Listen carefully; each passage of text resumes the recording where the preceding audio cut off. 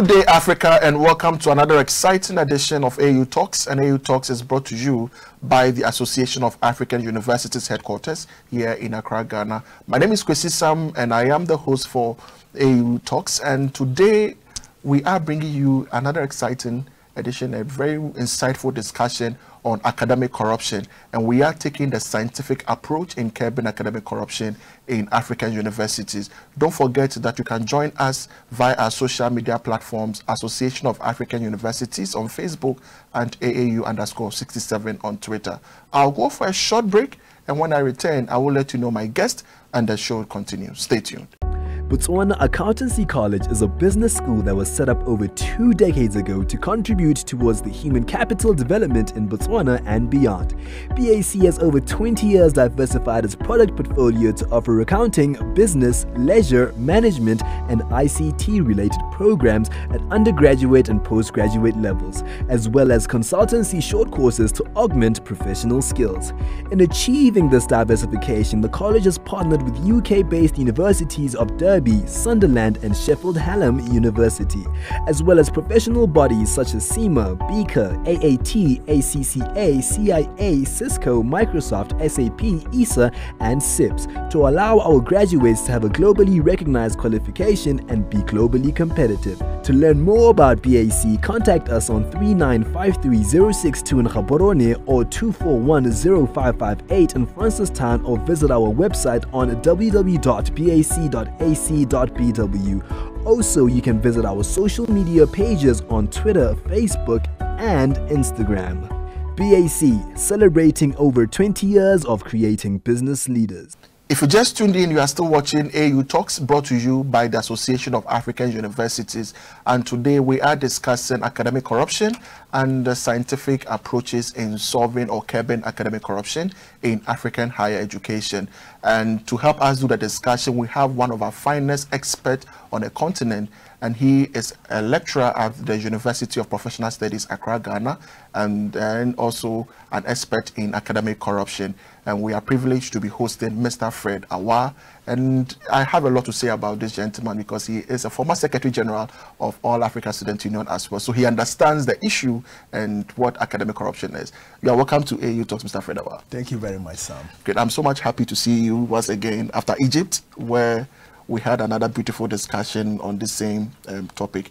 But today we are moving to a different dimension and we are looking at the scientific approaches or the place of science in curbing academic corruption.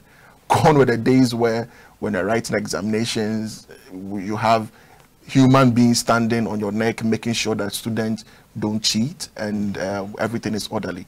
But you have a different insight into curbing academic corruption, and you think ICT, technology, um, resources are best in solving such approaches. Tell us more about that.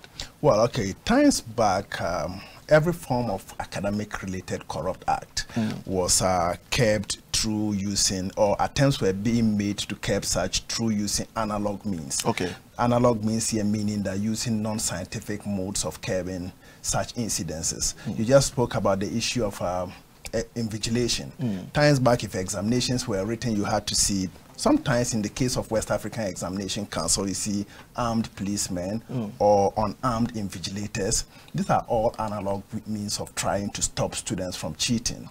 However, times times have passed and there are new models that are scientific based mm. in curbing in all forms of academic corruption, which we'll be outlining in this particular discussion. But to give to give this discuss an intellectual flair, mm. it is important for us to look at some theoretic underpinnings okay. of the concepts of academic corruption and how they apply to some of the scientific models that we have selected for this discuss. Mm. So if you allow me, I first want to talk about the social learning theory. Mm. Now, the social learning theory is uh, a psychological theory of deviance, mm -hmm. meaning that people make conscious efforts to deviate from the normal no, thing. Absolutely. So whilst mm. you and your colleagues are learning to pass examinations, their deviancy is related to learning to see how to get uh, apor. Uh, no, apor is in the Ghanaian sense, but mm. uh, uh, leaked examination papers okay. or see how to smuggle leaked examination questions into the exam room. So you realize that it is a behavior that they have learned, but not in a positive way, mm. because learning would actually give you the edge to be able to study well to do that which is expected of you to excel in the examination. So whilst others are learning, others are also learning, but in a manner that would cheat the system. Mm. And this comes directly under the social learning, learning theory. theory. Mm. Okay, so another that we will look is the concept of quid pro quo. Mm. This is Latin and it, it simply means exchanging something for something. And this is very related to sexually transmitted grades mm or sex for marks. Now, in that instance, you would realize that um, a lecturer may make sexual advances to a student in return for what? Grades. Grades so, mm. so that is the issue of quid pro quo, exchanging something for something. Mm. So this is another theory in literature that explains the growth of uh, the growth of uh, academic corruption mm. within the African sub uh, African region in the issues of what higher education. education. Yeah, there is also the theory of the bad apple. Mm. Now, the bad apple theory simple. It's very simple. It says that in society there are people whose behavior would be inconsistent with the norms of society, mm -hmm. meaning that whilst everybody is thinking of uh, studying and passing exam, there are a few who would think who are smarter than the system. Absolutely, mm. it is okay to cheat. It is okay to bribe a lecturer, or it is okay to use somebody's material without citing. Mm. Okay. Then we also have the public choice theory. Okay. And we, that is the fourth theory that I've outlined for my study, mm. the basis of which we are having this discussion today. Now, the public choice theory says that an average person like you and I, they the, the, motivation for doing right or wrong would be the benefit that the person would get. Mm -hmm. So that if you want to kill Fred, for instance, you are thinking, killing Fred is not a, a good thing. But you ask yourself, but yes, but if I kill Fred, perhaps I can inherit his car. Mm. I can inherit. So the motivation for killing is not the fact that you don't know that it's wrong but it is the fact that it will inure to what? Your benefit. Mm -hmm. And this has been borrowed into uh, the literature of higher education, especially in the case of academic corruption. Mm. Students know that it is wrong to cheat. Lecturers also do know that it's wrong to cheat. Mm. But of course, they are looking at the benefit of cheating. If I cheat, I won't make a D, I'll rather make what? An A if I hack into the university system, it is not a good thing. But at least I can change my class from third class to what? first class. So that which informs the position of the student to mm. cheat is the issue of public choice. The choice that any person would make. Would make, okay. All right. Mm. So these are the theoretical underpinnings to the study that you and I are discussing today. So, um, Mr. Awaah, um, that, that, that is a brilliant submission, but mm. let's look at it from this angle. Why do you think students or um, people would engage in all manner of academic corruption or practices that we think are, are corrupt in terms of examination or in terms of fulfilling a requirement for certification? In our paper, Curbing Student-Related Academic Corruption in Sub-Saharan Africa, mm. myself and Abdullah, the paper is still in press at okay. the Journal for Business Studies. We have posited that a number of factors account for this. The first we identified is that within the African region, there seem to be a lot of um, support for certification rather than education. Mm. So a lot of um, students want to get certificates rather than having the knowledge, skill, and attitude. The full education. That, yeah, that is mm. expected of them to uh, to perform in industry. So this is one of the issues that triggers academic corruption. Mm. People want to get certi good certificates at all costs to meet the expectations of what industry, especially in the area of recruit, mm -hmm. recruitment. Also, parents within our region, although the trends are changing, also would always want their children to have the best of grades. Mm. So they seem to always want to put pressure on their uh, their walls, irrespective of their intellectual capac uh, capacities. Mm. They do not make adjustments and room to the fact that we have different IQs and everyone's child cannot make A's. Mm -hmm. So to yield to these pressures, students usually will look look for unethical ways of what getting their okay. grades. Mm -hmm. Now, one other thing that has uh, heightened this situation is moral de uh, decadence mm. that to the extent that lecturers compromise their ethical standards, st standards mm. by sleeping with students, taking money with, uh, from students, or giving questions ahead of time to students in order for students to get what? Good grades. Mm. Now, even talking about lecturers, they also get in, involved in academic what? Corruption. Dis mm. Dishonest practices. Mm. Sometimes they, they publish in uh, predatory journals. It is also important to inform that sometimes some colleagues of ours borrow works of others without what? properly citing. Mm. So there are a myriad... Or published work done by students as well. Absolutely, mm. yeah. But also even in the instance of working, uh, publishing work done by students, it is supposed to be with the consent of the, the student. students. That mm. is if the lecturer supervises the student. Because mm. if you supervise a thesis, you are seen as an integral part of what? The work. The work. Mm. So you do not publish it as your sole work because you did it together with what? A the team. Student. Okay. Okay. So uh, a myriad of those factors. So these are just a few that I can highlight for, for this discussion. Great. Now let's move into the, the business of the day. Okay. That has to do with the scientific approaches in, in kind of curbing academic corruption. I mean, people are using all sort of methods, but still, we still hear news and here, here and there in our universities, in our countries of academic corruption. You are proposing a scientific approach to um, solving some of these problems. What are the key um, interventions that you have? Well, the interventions are many, and actually they are borrowed from best practices within what? The African region. Okay. All right, and elsewhere. It is important to inform that times back, one of the key issues that bordered on academic corruption was cheating during examinations. Mm. Now, and traditionally, our examination bodies or institutions of higher learning had one key way of curbing this physically bringing in invigilators mm. and sometimes armed men, including the police. I can cite the West African Examination Council when we were still younger. Mm. Now, this model was where they physically watched while students wrote examinations. And if a student was caught cheating, it was expected that this invigilator would what? Get to know. However, there seemed to be a gradual departure mm. from this system. And I can give examples of Ashesi University and the Laweh Open University College, both in Ghana. Now, students write examination under an environment where there are CCTV cameras. Mm. So there is no need for anyone to physically sit and invigilate what? The students. The student, okay. This is a product of science. It is not analog. It is not like time past when we used to have men. And let me further inform that this issue of physical invigilators standing and watching students sometimes gets students intimidated. Mm -hmm. Take, for instance, one who has phobia for the military or the police, the police and you okay. have an armed man with guns standing and watching you. Tendencies are that things that you might have learned or rehearsed mm -hmm. or were taught that you remembered, this intimidating presence could let you what? Forget some of them. Absolutely. Mm. So the concept of CCTV cameras is an invention by science that has come to help Africa's higher education mm. in curbing the, uh, the, the, rising incidence of academic corruption mm -hmm. within the African region.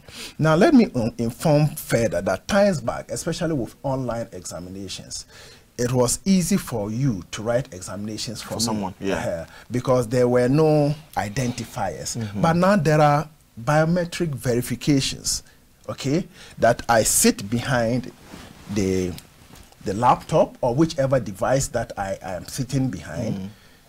it is able to identify that this is Fred Awaah. Even if my identical twin brother sits in, there are identifiers that makes me different from him. Mm. Okay, so that system of cheating, where people sat in examinations for others, science has come to solve it through what the issues of verification. Mm. And that is another milestone that the African higher education uh, uh, community mm. has borrowed from and can still what? Increase the borrowing to mm. ensure that the incidence of academic corruption gets minimal.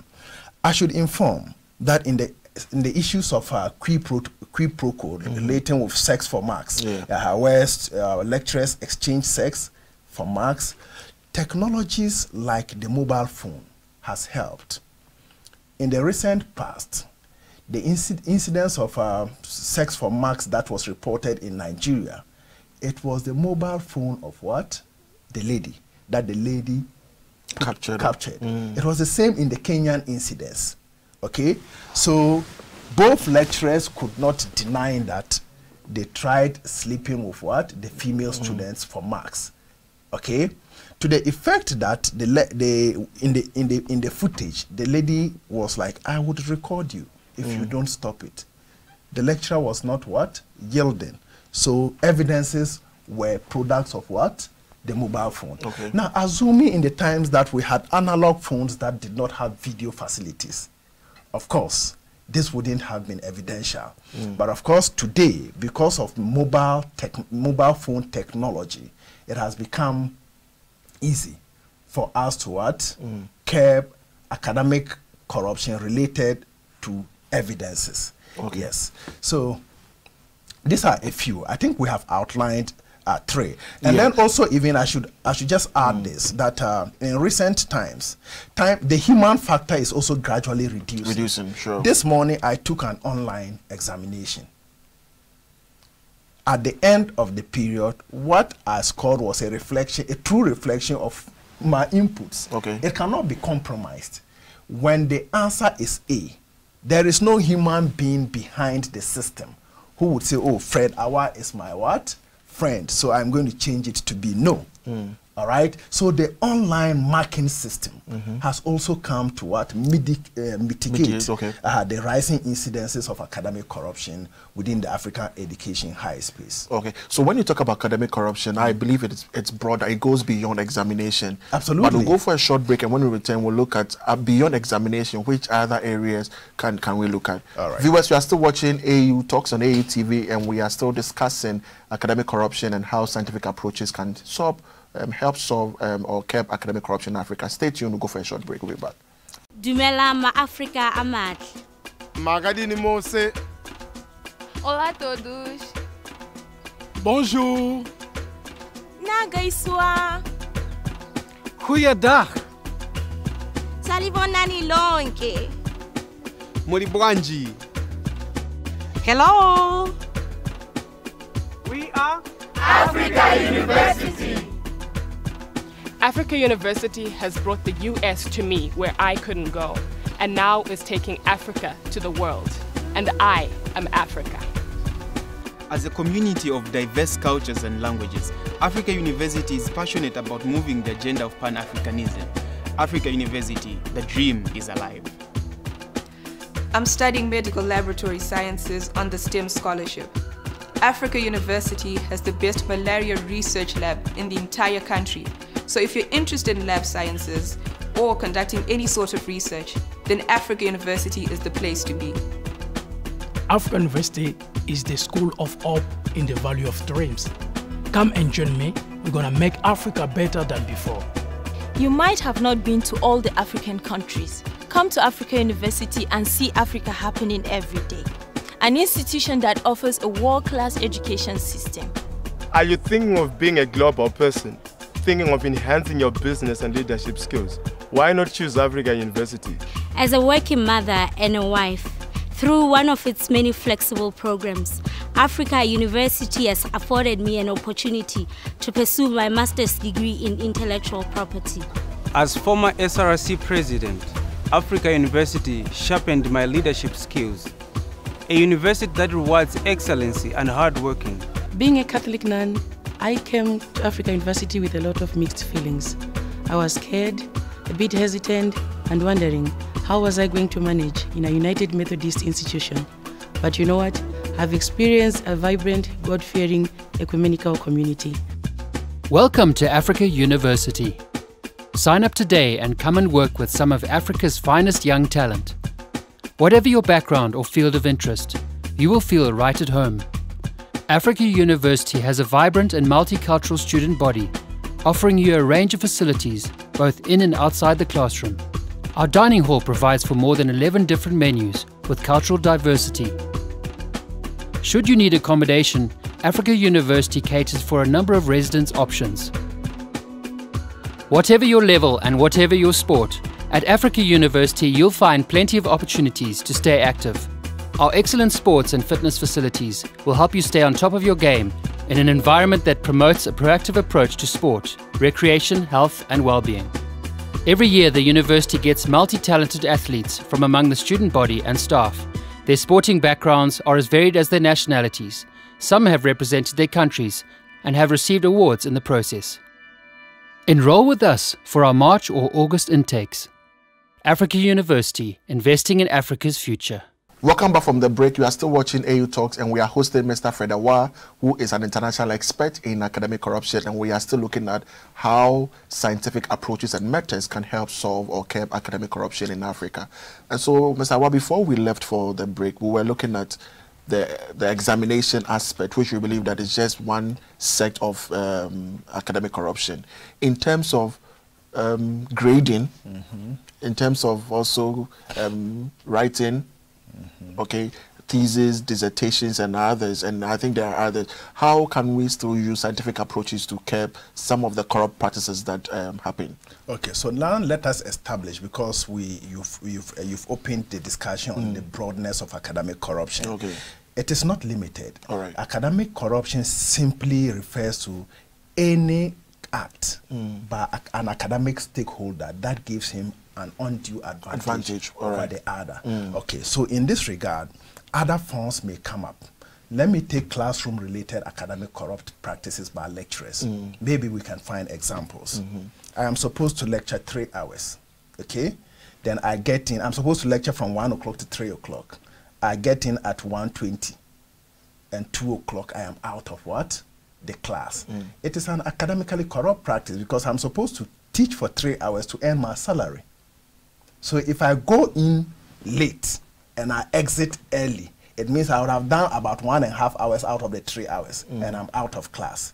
How, how, how, does it become corruption? Because I know examination programs are not static, they are dynamic. The lecturer has the opportunity to kind of um, change or modify. How does that become a corrupt practice? It is a corrupt practice because if a lecturer is mm. supposed, the, the university in its wisdom mm. has scheduled a timetable. Okay. Mr. Fred Awaah, you are supposed to be lecturing public administration from 8 a.m. To, to, to, to, maybe 10, okay. 10 a.m. Mm. It means that the university knows that by your course outline and your syllabus, when you get in, it is three hours that can let you what? Cover the syllabus. Mm. So it is expected that you will get there at the right time okay. and exit at the right time. Okay. So if you shortchange it by getting in late and exiting early, it means that you've taken some part of the university's what okay. time for yourself. So, means without the consent of the management or the, the student, then it's corrupt. Okay, it's corrupt. Mm. Okay, and it is regular within our environs. Mm. It has become accepted by the lecturers themselves. Students also have accepted. Oh, the lecturer is coming; he will go soon. Mm -hmm. But it is academic corruption. Okay. Now, tell now these ones times back we couldn't manage them, or we're managing them with what orthodox means mm. or analog, analog means. means okay. And in that instance, because there's a human factor, there can be compromises. So class rep, when did the lecturer come in? You say one o'clock. When did he leave? Four o'clock because mm. he's a friend to the lecturer. But now there are swipe ins. Okay. That is a product of what? Technology. Sure. Swipe in such that when you come in, Fred Awaah, swipe, it shows he entered at 8 o'clock. Mm. When I close, I swipe out. I entered, I closed at what 10. So three hours have been what? Covered. Mm. So that is a product of what? Using ICT. Now, you see, the dynamics of uh, academic corruption are varied and wide. So there are normal day-to-day -day academic issues in the in, in, in, the universities that we overlook that we think are not practices That's, that are okay. corrupt. Take, mm. for instance, the issue of uh, course outlines. Mm. If you are a lecturer, your responsibility in your first class is to introduce yourself, get to know the students, and also introduce the course, course outline. Sure. The course outline. Mm. So if you get into a class, you don't give a course outline. Then throughout the semester, you have been lecturing without a course outline. It is an academically what? Corrupt, Corrupt practice. practice. Good. All right. Mm. Now, the question is, persons far who may want to ask questions are, how does it constitute academic corruption? There may be 10 topics on the course outline okay if the students are not aware because you have not given them the course outline you may lecture only seven within mm. the semester meaning you have six three, three, three. That's six credit hours. What? Nine credit hours to yourself, Mm. which you have not accounted for. Okay. Meanwhile, you are being paid for such. Then it becomes an academically corrupt practice. Okay. And times back, the question would be, class rep, has your lecturer given you the course outline? And if the class rep is your is, is, is the lecturer friend, say mm. yes. But of course, there are models now that curtails that. Mm. Okay, so on a number of university websites, it is a requirement to upload your course outline for what the Okay. semester, Mm. and this is not analog. It is the support of science and ICT. Mhm. Are we together? Okay. So for every academically corrupt practice that pertains in Africa's higher education space, there are models that can help us to what? Curb it or at least minimize the effects. Okay, so what about instances where the lecturer swipes in 8 Mhm. but then and then also swipes in at 9 Mhm. meaning that he was on time? Mhm. How do we check what happens in the classroom in terms of is he delivering the content? Okay. What is the classroom engagement? Mm-hmm. Even with the course outline, mm-hmm. if I upload the course outline mm-hmm. online and then we know it's covering 10 topics, how will you ensure that the, the lecturer is able to use all the, the, the if it is nine weeks, is able to cover all the topics? Okay. Now, the, it's easy. One, if a lecturer is not teaching well, it means that he's deficient in the skills, knowledge, Mm. and attitude. That's- he needs to be trained. Absolutely. But to be specific to your question, now a number of universities do appraisal of their lecturers, and it is not university management that does it; it's the students. Students are in the classroom with the lecturer throughout his the period of what Teaching and teaching learning. and learning. Mm. So the student assesses him on professionalism, delivery style, Mm-hmm. Content, and all of that. My university does it. My students, are, they assess me and all other lecturers almost every semester. Mm-hmm. And it is a product of what? Technology and ICT. Do, do they do it online or still the, no, they no, no, the paper pencil? No, no, okay. no. They do it online. Oh, okay. It's web-based. So technology has come to make academic corruption issues minimal. Mm. And the earlier African universities log onto it to, to, to minimize the rising effects of academic corruption. I think that the better for our continent. So what happens to publications, um, thesis writing, dissertations? You know, the issue of plagiarism. Mm-hmm. So how does the scientific approaches also come in? I know there are a lot of uh, softwares. yes. Yeah, now we have Turnitin, in, for Mm. instance, so that if I am supervising uh, uh, an undergrad thesis and then the student does all of the writing, I guide him through, then he brings the work. Mm. I need to put it into a software. Okay. That will tell me, ah, this particular work, I think that 10 or 20% of it was borrowed. plagiarized, okay. So I get my student close. I tell, ah, let's relook at this. Mm. I think that you borrowed from somewhere. It is not right to borrow without telling where you borrowed it from. Mm. Okay. So one, you either find the appropriate sources, or two, you find alternative sources and get this part of it out, Mhm. so that the work can what be a true reflection of you. Mm. Okay. So Turnitin is uh, is is available. available. Yeah, absolutely. Okay. Now, so then we've established the fact that we can still move on from the analog means and then use the scientific approaches. Yeah. But how difficult or easy for universities to adapt some of these things? For example, using the CCTV cameras in the universities where um, you know we have a lot of challenges with internet, with electricity and everything. How do we come up um, strategically to adapt scientific means and approaches to solving some of these issues as well? Yeah, sometimes the, the, the cheapest thing Mm. in the world is quality. Okay. But a lot of people rather think that quality is what? Expensive. Mm. Yeah. So on the on this caveat, I want to establish that if African universities would want one, their products to be of quality. Mm. Number two, that they would have a quality image. And number three, that their university would be competitive, then they would have to invest in the infrastructure that is necessary to support what? ICT Mm. or science. Mm. So electricity can go off from the national grid, but generators are made available. Available. Mm. Solar energy is also what? Available. Available. Mm. So these are all issues that support ICT Mm. in curbing academic corruption. I do agree that there are challenges. Mm. For instances, a number of African classrooms have very large what? students. Students, Mhm. okay, all right. And sometimes, depending on the placement of the CCTV cameras, Mm. you may not be able to even investigate all of the incidences. But of course, if attempts are made, upgrades would come Mm. thereafter. So quality initially may look expensive, but in the long term, it is the cheapest commodity that would exist for Africa's higher education. Great. I, I, I find these interventions very um, important, especially in higher education. But my issue is um, how do we get this message across okay, the continent, making sure that universities, academics, experts get to know of, of some of the new ways that you are bringing on board.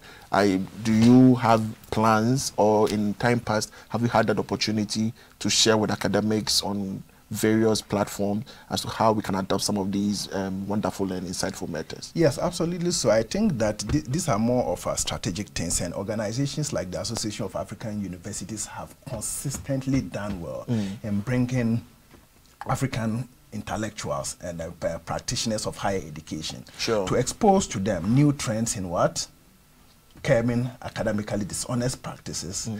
and then telling them to disseminate such such when they go home. This platform is one such platform. mhm. The Association of Africa now we are viewed throughout uh, The uh, continent. the continent, Mm. and of course the uh, the the, the coming into being of the continental education strategy for Africa. Mm. Now, the first caveat says that it is going to hinge on the human resources of what? The continent. Mm. That alone means that the African Union understands that if academic corruption would still pertain in the African region, then we cannot make what?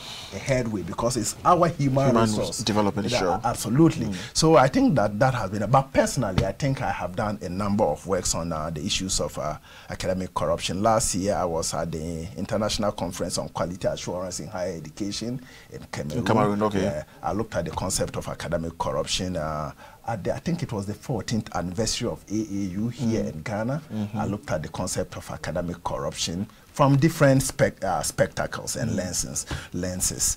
Uh, la, about three weeks ago, I was in Cairo, Egypt, when I looked at the issue Yeah, of sexually sex transmitted, yeah, I remember that one. Yes. Mm. Uh, just uh, about four days ago, I came from Ethiopia, Mm. uh, speaking on rating classroom-related academically dishonest practices of lecturers. I was Mhm. assessing my, uh, I made students assess our peers, and this is of empirical evidence. It's not a Mm. desk study. Mm. So what students have said, that was shared with our colleagues uh, who are into the higher education space in uh, in uh, in, uh, in Ethiopia. Mm. And as we speak, I have. Um, an invitation to speak also at the Association of uh, Examiners of uh, Examination Assessors of Africa, together Okay. with West African Examination Council. We'll be doing some work related to what we are discussing here Mm, mm. next week at uh, Hilton Abuja. Mm. And thereafter, I also have an uh, appointment to speak uh, from 12th to 15th at the University of Western Cape Mm. uh, in, uh, South Africa. in South Africa Mm. uh, on uh, a related uh,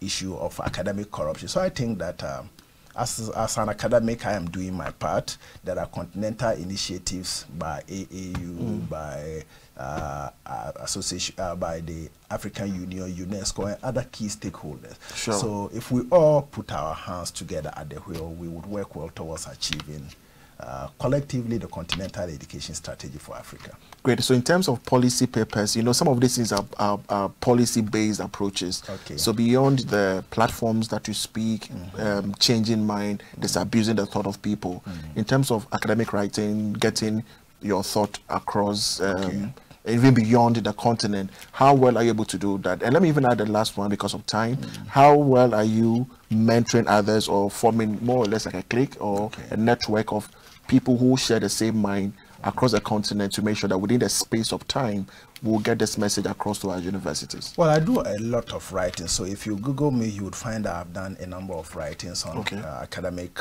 corruption from different lenses. Mm. Uh, as I speak with you, I think I have uh, papers in press, not less than four. The Journal of Business Studies is one. We have uh, um, um, the Association of African Universities Mhm, itself have, put, mhm. have presented a paper which is under review Mhm. uh, as conference proceeding, which would come out at the appropriate time. You know more than me because Mhm. it's your institution. Sure. I have another paper with um, uh, African High. Uh, uh, Professor Damtew's paper, what is the name, uh, journal? International, International Jour- Edu- of Journal of High, uh, Mm. uh, High African Higher Education. I Mm. have a paper under review there. Mm. Um, at the University of um, uh, University of Western Cape. I have sent a paper already. Okay. Uh, that is uh, the basis on which I'll be doing my okay. presentation. That's and great. my abstract has also been accepted by the West African Examination Council. Okay. Yeah, so if it also goes well, that is another paper. So some level of efforts have been done to put our thoughts in print. Mm. Uh-huh. Now, the issue of um, mentoring others. Yeah, no academic succeeds without taking others along. Absolutely. Yeah, So I have a team of researchers. I told you Mm. with my paper that I'm doing with um, that I submitted to the Journal of Business uh, Studies. I did it with uh, Ab- uh, uh, uh, Abdullahi. Mm. Uh-huh. Abdullahi is also another young academic, and we are working together on that paper. Um, by virtue of the fact that I supervise so many theses, I'm Mhm. imparting knowledge to the To younger, the younger the people. generation. Whilst we have uh, the likes of Professor Damtew, Professor Okebukola, Professor Shabani, Mm. Also mentoring, Mentoring. us, uh, Professor Ehile, Professor uh, Mba, Mm. all of them putting hands on us to ensure that we grow. We are also growing with a team of a network of younger academics that we can call peers, Mm. whilst we are also lifting others so that they will take our space when we are gone. Great. Before you finally leave, let me ask you this question. Um, and you know your trend is very unpopular, especially in the in the areas of higher education. That's true. When you make such presentations, um, can you share with us what are sometimes the critical questions and the critiques, and what are um, I don't want to use the word opponents. You know, what are some of the opposing views that you have? Okay. Because you are hitting directly on your colleagues Okay. and the things that happen in your domain. For example, people just rise too quickly through the professorial ranks and, and stuff mm. like that. And these are the hard things to talk about. Mm. What are some of the reactions of change that you you you you experience? Now, unlike regular corruption that sees immediate effect, hmm. for instance, I have taken your money. Money, hmm. Okay, money that I that was supposed to be yours, I sign and I get it. Hmm. Now you feel it. All right, hmm. money that is supposed to be used to build boreholes for the people of Upper East Region, hmm. somebody takes it. The people of Upper East Region what Feel it. Hmm. So the reaction usually is aggressive. But for instance, a lecturer goes to lecture one hour instead of three hours. Sometimes students even get excited. Of so course. although it's a corrupt practice, because the effect is not immediate, the reactions are seen as being what normal. Now, like the case of plagiarism, you plagiarize. The question is the re- regular question. Some somebody without my kind of lenses will ask is, "Ah, but how does it affect the person you didn't cite? Mhm. Okay, so they don't see anything wrong with it. So similar questions arise at conference. Ah, Fred, but this thing you are doing, it, it, it is normal. It, it, it is nothing. Mhm. All right, and even let me let me report like um, in one of my, my my papers, a lecturer in the United Kingdom speaking about the issues of uh, sexually trans uh, mixed grades.